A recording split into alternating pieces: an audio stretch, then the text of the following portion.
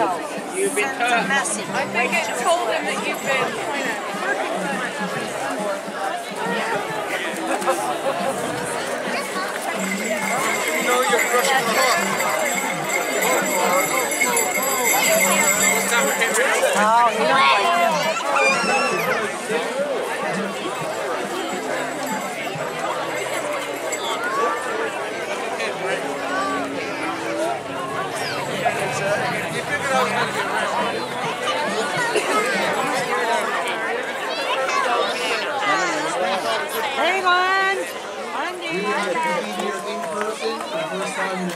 years to uh, light up famous Lock Supply Christmas tree and celebrate the holiday season. So before we get going, we'll give a little bit of history, make sure everybody knows uh, the history of the tree. Uh, it was first built in 2009 and it reminds us of the symbol of our connectivity to the lobster industry and how it touches us all. The booths that decorate the tree uh, represent many individuals and crews that face or continue to face uh, the dangers and serious support of our community. So each booth tells a story. Some are about survival, some about success, and some are, uh, others are, are heartbreaking. So there's two stories that we want to highlight tonight this year, uh, and, and they're just two examples of, of all of the heroes that are represented on, on the tree and that the tree celebrates. So the first story is one of one about legacy, uh, and it's, it's it's there's a tree on the on there's a building on the tree that's in memory of Sylvan Kinley and his nephew James Smith, who were out to sea setting their traps on dumping day on November 30th, 1964. And they were aboard the Jane and Judy, uh, and it was on their maiden voyage when the high winds caused the vessel and her crew to go down. And the conditions made the rescue efforts by the local fishermen really difficult, um, and unfortunately, uh, very, uh, it was unsuccessful. So the tragedy brought concerned residents from Southwest Nova together, and uh, they made an appeal for the need for a Coast Guard vessel to be stationed in Clark's Harbour. And in, on October 5th, 1966, the One arrived in Clark's Harbour, and it's, uh, it's been there ever since, and it was immediately put to work to help reduce the tragic loss of life in the city of Nova Scotia.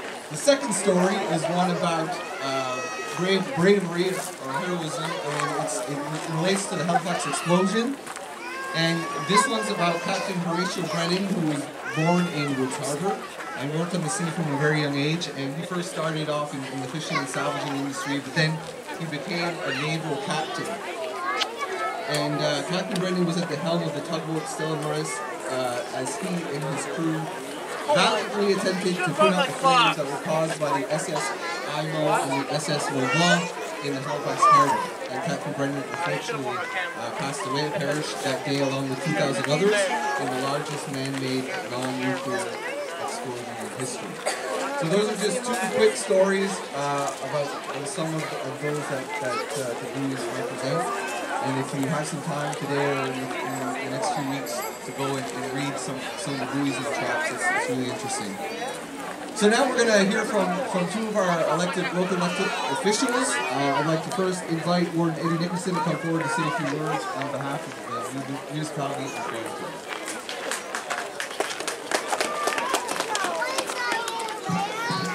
Good evening, everyone, and I'd like to welcome you here tonight. Uh, it's been uh, two plus years before we had an opportunity, since we had an opportunity to uh, get out and uh, light the tree. Was pretty, pretty lonely here the past couple of years. We, we come out and record two of the three of us. I think uh, Joel, the, the, the uh, staff members from the municipality who came out. Uh, video Nolan and I, so it's great to see everybody out here. Uh, certainly would uh, like to thank municipal staff for taking the time and putting up the tree. They did a, a wonderful job this year. Um, it wouldn't go without, I, I can't go without saying uh, lobster season is up on us. So I would like to uh, wish all the lobster fishermen and fisherwomen a, uh, a good, safe, and prosperous season. And uh, certainly thank you guys for coming out tonight and enjoying the Christmas season. And Merry Christmas You're on the naughty list. All right, thanks, Eddie. Um, I'd like to invite our MLA Nolan Young to the microphone to bring greetings from the province of Nova Scotia. Good evening, everyone. What a turnout this is. This is absolutely awesome.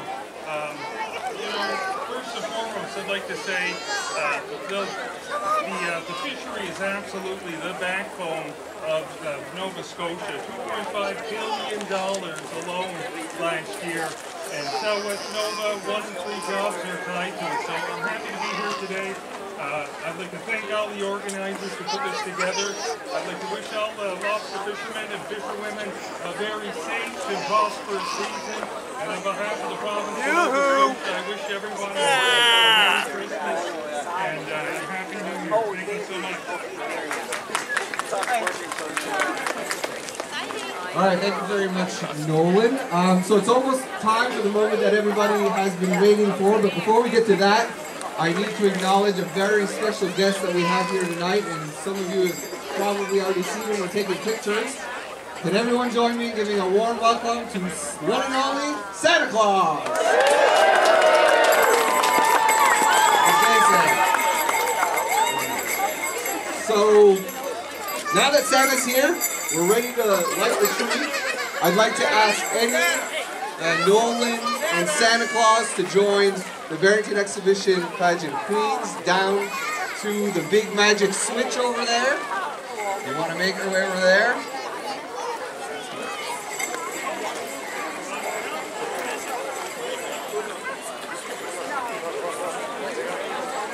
So while they make their way over to the magic switch, what we're going to do, we're going to have a countdown when, they, when, they, when they're ready.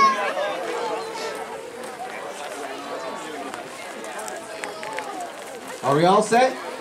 Can I get a thumbs up? Are we all set? All right. So, here we go. We're going to do a countdown from 10. Is everybody ready? Let's go. 10, 9, 8, 7, 6, 5, 4, 3, 2, 1. Minus one.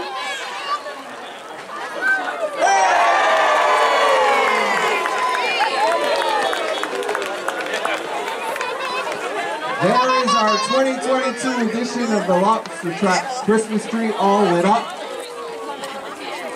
As you can imagine, the tree and this event doesn't happen overnight. There's a lot of planning and organizing and building that goes on um, for the days and weeks in advance of it. So I'd like to thank a few people, a few groups uh, before we, keep going. So first, everyone who contributes brings his back to the tree, thank you very, very much. Obviously, we wouldn't happen or we get built otherwise. Um, for the staff and building the tree, is definitely a community. We also produce content and support that they give back to the community for. I think my hands froze to the camera.